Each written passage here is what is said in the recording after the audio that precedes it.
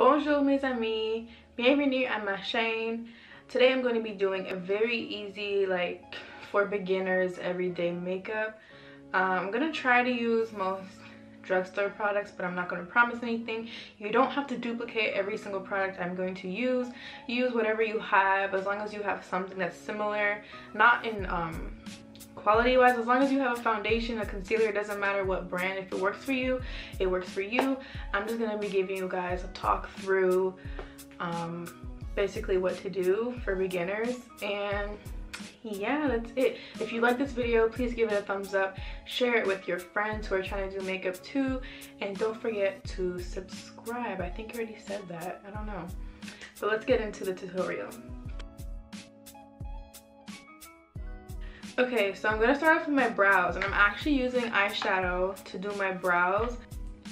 Okay, so I'm gonna brush all my hairs upwards and take like a brown shade that's a little bit lighter than my, actually it's kind of like the exact color of my brows. My brows are like a faded black color. I'm just gonna do light strokes in the same direction as my brow hairs. Do not go trying to make your brow look like something it's not.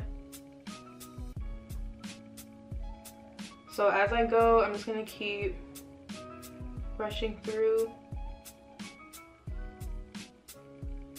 Literally following the exact shape of my brows.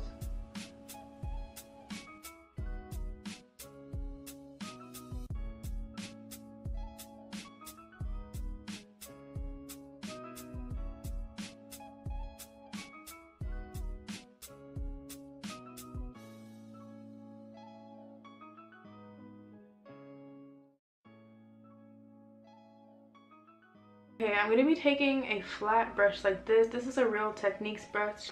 I'm going to be using this Anastasia Beverly Hills concealer in the shade 5.0. This is way too light for me and way too thick of a consistency I think for your face. But for your brows, it is the bomb. I'm only going to be using it on the bottom and I'm going to be using my face concealer for the top.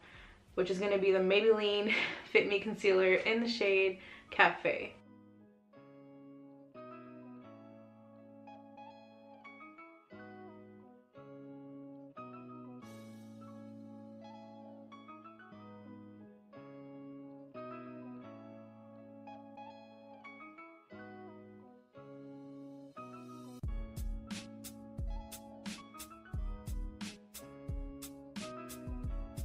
Crap. See, I just messed it up a bit. Okay, well look. You guys might mess up too. You never know. So what I'm to do to fix that is I'm just to take my powder that I was using and just fill it back in how I want it. So my brows are done. I probably look crazy, but the foundation is going to help with that.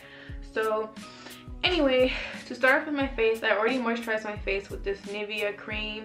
I'm going to be spraying it with this e.l.f. makeup spray slash setting spray. Just like kind of as a priming base. Because I don't really like to use a legit primer. So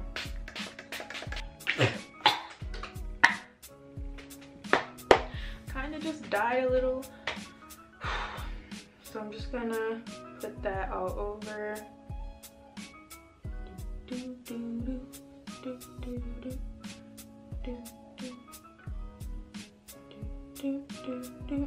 So I'm just gonna be blending that out with a beauty blender.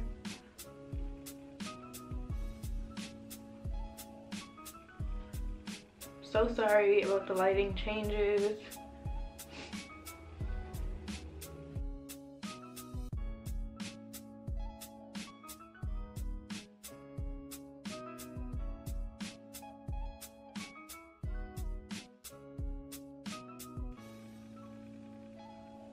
Oh, I just messed up my eyebrow. What the heck?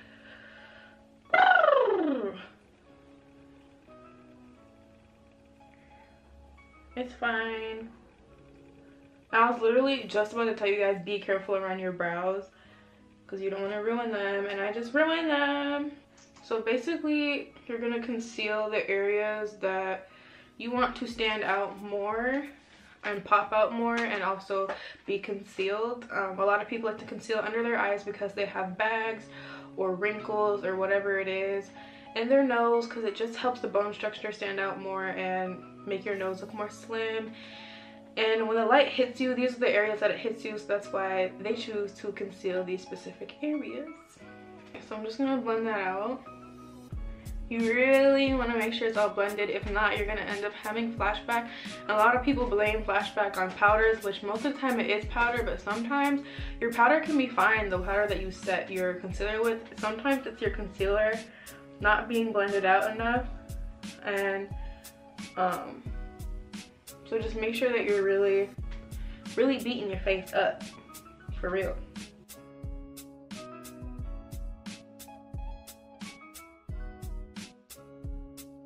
As you can see, I'm using the part where I had foundation on my beauty blender to help blend out the edges of the, um, of the concealer so that it's not too harsh.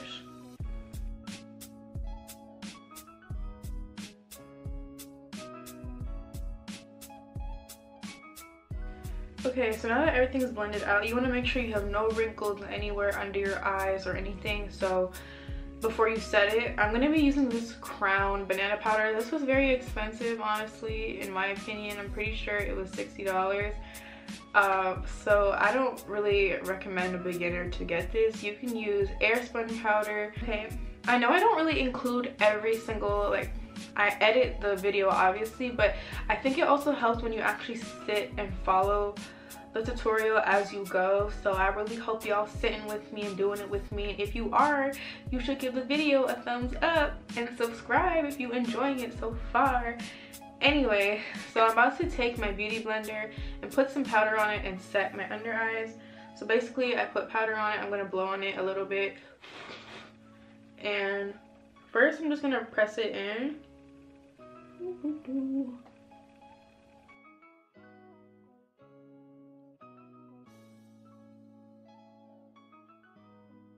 Y'all see that diff? Oh my god, this lighting's too bright. Okay, but do you see the difference? It might look a little weird right now, but you see the difference?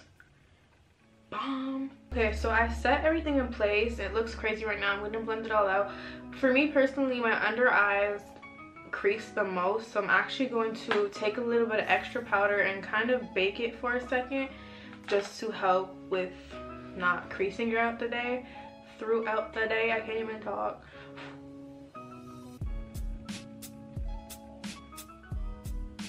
Just like so.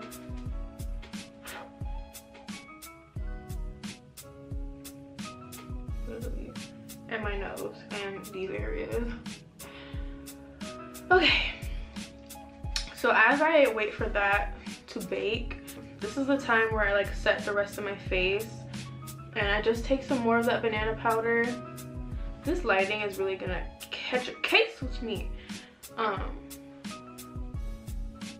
I take the rest, a little bit of that banana powder and set the rest of my face because you don't wanna continue on with your face makeup without setting it because everything is just gonna become blotchy and dry. Like look like it's streaky because your face was like, your foundation wasn't set with a powder. Now I'm gonna contour. Take any contour powder. You can use an eyeshadow to contour. I used to do that. I probably still could. I'm just like, I don't think of it sometimes. Any type of contour powder and an angled brush like this. And you're gonna find, usually you're, you're gonna contour from the top of your ear. But you can always make that fish face to find where your cheekbones go in and I like to pat the powder on first. And also up here, you're kind of making like a three. So I'm gonna start making circular motions.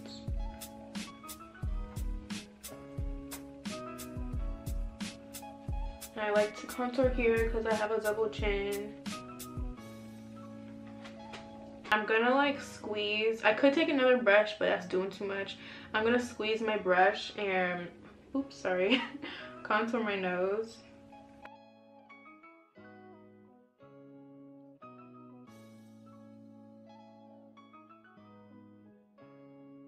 And I usually don't do this, but if my contour isn't like as sharp as I wanted to, I just take a little bit more of that banana powder and carve it out. Mm -mm -mm. Let it rain. I clear it out. Let it rain. Clear it out. It rain. Now clear it out. Now I'm just going to take a brush that has a little bit of my foundation powder on it and I'm going to sweep away the powder under my eyes and under my contour.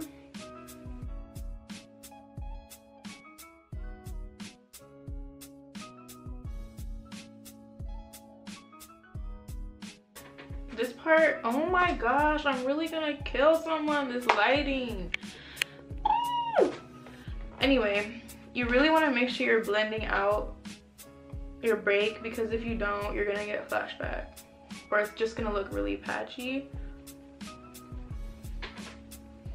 Okay, now it's time for everyone's favorite part, getting that glow. I'm using the Anastasia Beverly Hills Glow Kit palette thing but you don't have to use this. You can use any, literally an eyeshadow, anything shimmery that you have, you can use as a glow. Using this fan brush and I literally mixed all the colors in this one. This is the um, sun dipped one. And you want to place that on the higher, oh, just got some on my shirt, on the higher parts of your cheekbone. So a little bit above um, where you contoured and under your eyebrow and on top of your eyebrow. That's where I like to put it. That's where I feel the sun hits me. So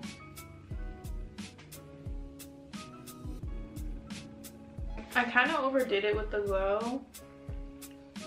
Way too much, but it's okay. Um, next I'm going to be doing my blush. You can use any type of brush for your blush. I'm using eyeshadow as my blush um, any type of pink, orangish type of tones. I don't like to do anything too light because I'm gonna look crazy or too dark because I'm gonna look crazy.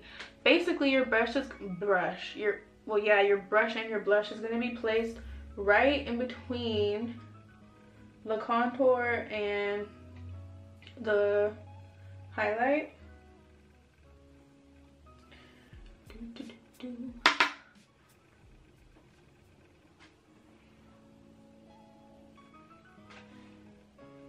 going to be using this L'Oreal Voluminous Curve Brush Mascara. When you're applying mascara, always look down into your mirror so that you're not getting any mascara on your eyelid.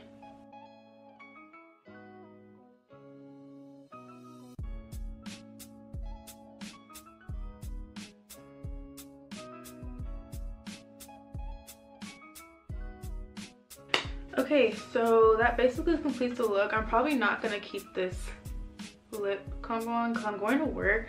Honestly, I just felt like filming a video for you guys. I work with kids, so there's no point. Like, I'm on, I hate, I can't wear makeup for longer than two hours. I cannot do it. I can't, I'm gonna start to get irritated.